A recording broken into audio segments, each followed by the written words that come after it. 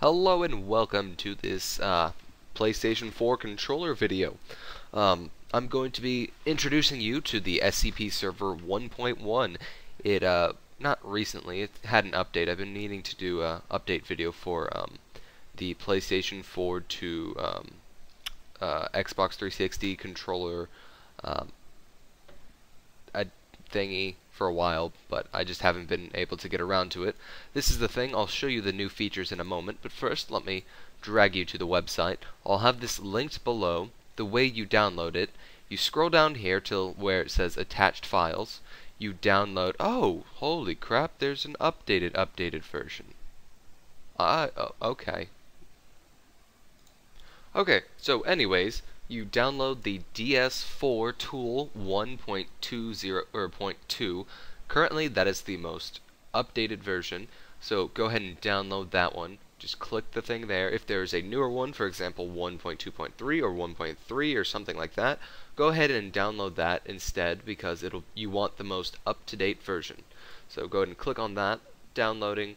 Uh, just gonna go ahead and open up the folder so you can see it's here. Let me just cancel the thing right here because I have it downloaded.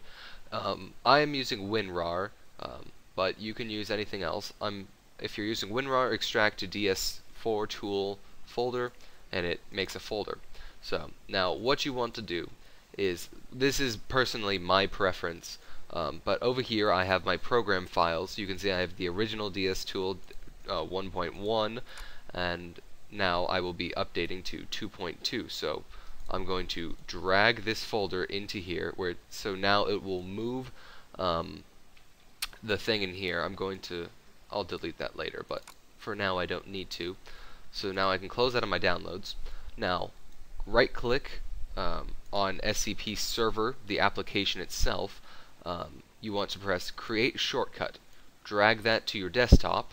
And so now I have a I'm going to rename it real quick 1.2.2 and so now I have a up-to-date version of SCP Server.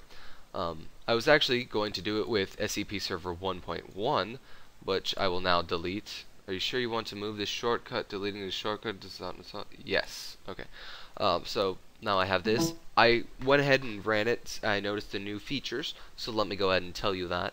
Uh, first of all, the lighting bar up here, when you adjust the color, it actually changes the perception thingy right here and which is something that is really cool you can click on this to make it any color so if I were to press OK and I look at my thing or my PlayStation controller it is now that color it's not quite that green because it doesn't have that great a color depth but as I am moving this around on here it is actually changing the way the color looks mostly I think just for the red because I clicked the red last. I don't know.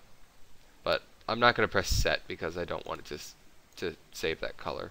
Oh, it actually saved that color. I didn't like that color at all. Set. Say, okay. Now it's the color I want. So, it has the normal rumble motors like it did before, but now if you notice here, the 6-axis gyro stuff, it gives you information on that, where you can see these things here changing. It shows you the controller itself. You can map it custom, uh, where you map each thing to something special, which I will probably be using. Um, I'm going to see if I can map that to something and for uh, Binding of Isaac, because if I can, that will make the game even more of a better experience, because already I'm running two programs in order to do that. So if I don't have to run either of those and just run the DS4 uh, SCP server thing, then that would be much, much better. So then they also have the the touchpad things. Um, something that I really like was in SCP Server 1.1 they enabled touchpad, but what sucked is every time you started it up, um, it was on. So now they have a enabled touch at start, uh, not checked by default, which is so much nicer. I hated having to press L2 and then the touchpad in order to set it off, and this pretty much fixes that. So I think it automatically turns the thing on. Right now it is over running over Bluetooth. I event I somehow got uh, Bluetooth to work over this, which is very good. Um, I'll I have the cable routed around my computer only for charging. Um, and the, it's simple. The way I have it reconnect to my computer, like after I restart or something, you just press the PlayStation button and it works. So yeah, it is really nice. Um, let's see, I can press that to hot. Oh, I don't want to do that. Yeah, so that is really cool. Um, and if you press controllers, it opens up uh, this thing where you can go to properties and see all the buttons in real time as you press them. Very cool. So I will tinker around real quick with the custom mapping and I will be right back. Okay, so I have uh, tinkered around with this. I made it so the D-pad and the um, the buttons, the that is the triangle, square, X, and circle buttons, correspond to WASD, and then the shooting, which is up, down, left, right, and also the thumbsticks also um, correspond to uh, WASD and um, uh, the thingy, which is up, down, left, right. So it's really, really easy to do actually. You just click the save button. I created my own save called Binding of Isaac. Um, now I can just click on here. I can move around with my left thumbstick and use the right thumbstick or the buttons to um, just kill them. And it's really cool. Um, I have, uh, let's see, I have the space button mapped to the tr R2 trigger. Uh, and I have um, the shift button in this case mapped to um, the L2 trigger.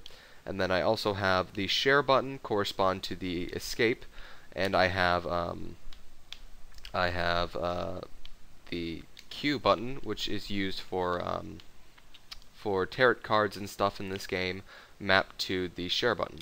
And then also I have the touchpad enabled, so I can click on stuff uh, because Binding of Isaac, you do need to click on things. So, yeah, now I only need to run one thing. So that is it for this. Let me go ahead and X off Binding of Isaac. I need to turn the sensitivity down on, um, looks like the thumbsticks no longer click. Okay, so you actually click with the touchpad now, which is interesting, but I don't really think I like it. But yeah, because this thing right here is so sensitive. Okay, that is much better. Turning this sensitivity to 26, you have to move your hand a lot more, but you don't accidentally move it as much. So that is very good. All in all, I really like this update. I really should have checked it out sooner. Anywho, thanks for watching. I hope you enjoyed, and I am going to listen to this song. So, goodbye. Probably can't play it because of copyright stuff, but woo!